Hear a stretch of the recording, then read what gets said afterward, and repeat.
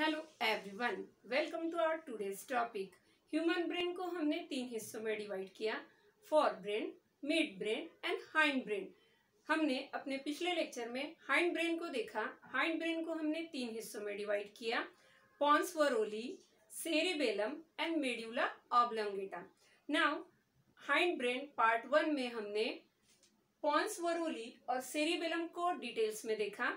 आज के लेक्चर में हम मेड्यूला ऑब्लंगेटा को डिटेल्स में देखने वाले हैं।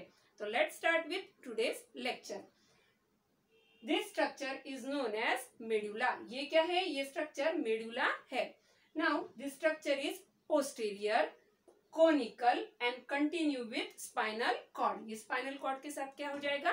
कंटिन्यू हो जाएगा।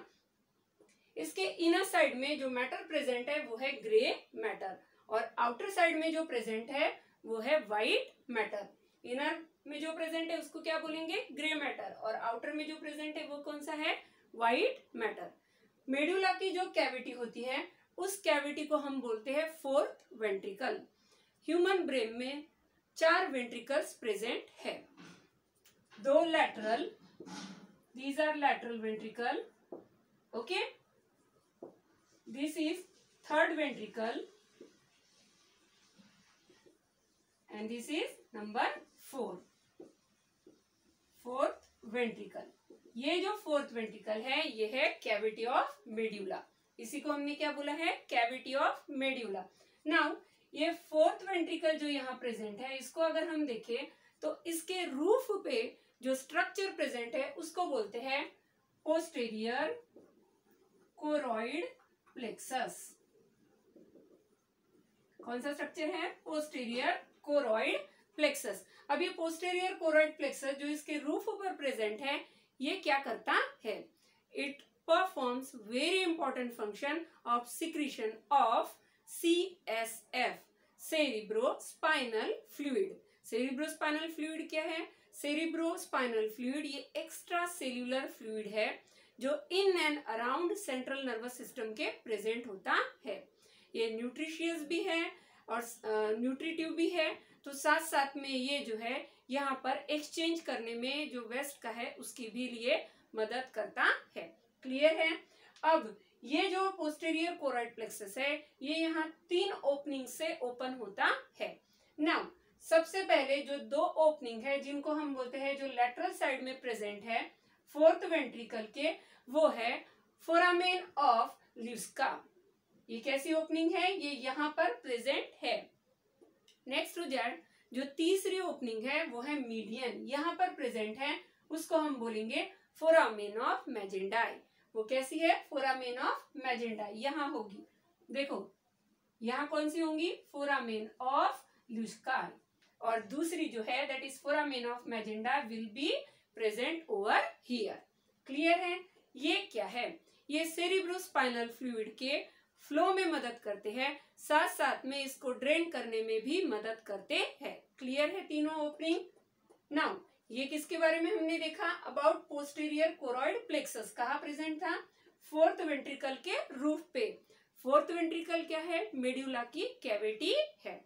क्लियर है सारे points now moving towards function of medulla oblongata now हम ऐसा बोलते हैं कि किसी भी पर्सन को अगर डैमेज या इंजुरी हो जाए मेड्यूला पर तो तुरंत उसकी डेथ हो जाती है। It cause is sudden death of the person why अब हम देखेंगे फ़ंक्शन में कि हम ऐसा क्यों बोल रहे हैं। इट कंट्रोल्स इनवॉलेंट्री फ़ंक्शंस ये क्या करता है? इनवॉलेंट्री फ़ंक्शंस को कंट्रोल करता है थ्रू वेरियस सेंटर्स बहुत ही ज़्यादा इंपॉर्टेंट जो वाइटल सेंटर्स है बॉडी के, जैसे कि रेस्पिरेटरी सेंटर जैसे कि for example cardiac centre vasomotor centre salivary etcetera ये सभी सेंटर्स जो है, ये मेड्यूला में प्रेजेंट होते हैं। अब पहला जो है, वो है कार्डियक सेंटर अब कार्डियक सेंटर क्या है? जो हार्ट बीट के रेट को यहाँ पर कंट्रोल करेगा। क्लियर है? दूसरा है रेस्पिरेटरी सेंटर जो रेस्पिरेशन के रेट को कंट्रोल करेगा। तीसरा है वॉसोमोटार जो ब्लड की जो यहाँ पर फ्लो का है उसको कंट्रोल करने वाला है। Next to that is salivary centre जो सलाइवरी के सिक्रीशन को सलाइवरी ग्लैंड से जो सिक्रीशन निकलेगा सलाइवा का, उसको कंट्रोल करने वाला है। ऐसे बहुत सारे सेंटर्स यहाँ पर प्रेजेंट है, जो इनवॉलेंट्री इन नेचर है, यानी जो हमारे कंट्रोल में नहीं है। क्लियर है?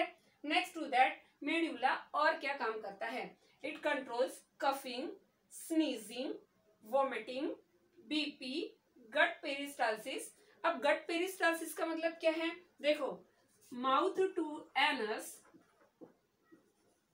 जो पोर्शन होगा, इसको हम बोलते हैं गट। माउथ टू एनस जो पोर्शन है, उसको हम क्या बोल रहे हैं? गट। अब गट में अगर हम एक सिंपल एग्जांपल ले ईसोफेगस का तो ईसोफेगस में जो फ़ूड मूव होगा, वो इस तरह से मूव होता है। इस मूवमेंट को बोलते हैं पेरिस्टालसिस। तो सारे जो गट में पेरिस्टालसिस की जो मूवमेंट होगी, उसको कौन कंट्रोल करने वाला है? मेड्यूला कंट्रोल करने वाला है। फ़ूड को सॉलो करने के लिए जो यहाँ पर फिर से कौन कंट्रोल कर रहे हैं? Again the control is under medulla इस तरह सारे जो यहाँ पर इंपॉर्टेंट फ़ंक्शंस को मेड्यूला करता है। इसीलिए मेड्यूला क्या है? ये मेड्यूला ब्रेन का बहुत इंपॉर्टेंट पार्ट है। क्लियर है? हाइंड ब्रेन में हमने पॉन्स वरोली सेरेबेलम और मेड्यूला ऑब्लेंगेटा को देखा। मेड्यूला ऑब्लेंगेटा को माइलिन एंसेफेलॉन भी बोलते हैं।